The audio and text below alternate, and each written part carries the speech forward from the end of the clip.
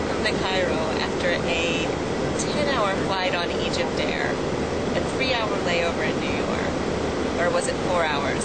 A two-hour flight on JetBlue. We are finally here.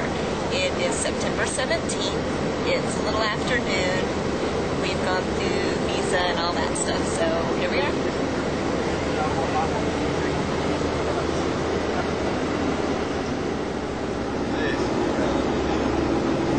We're gonna having a chance to seeing this palace again on our way to the airport again. So if you wanna get shot a bit, so we can have another chance.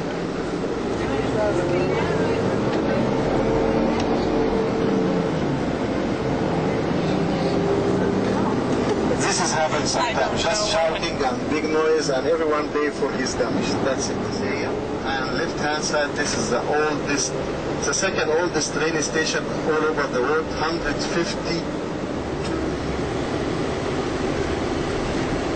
Like I told you, Cairo is 17 million during the daytime and 14 million during the night time because there is 3 million is just coming for work every day.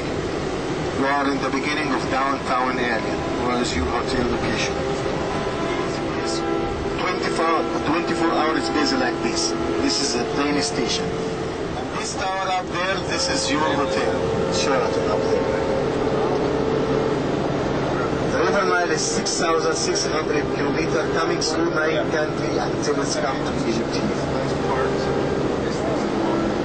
This is not the whole river.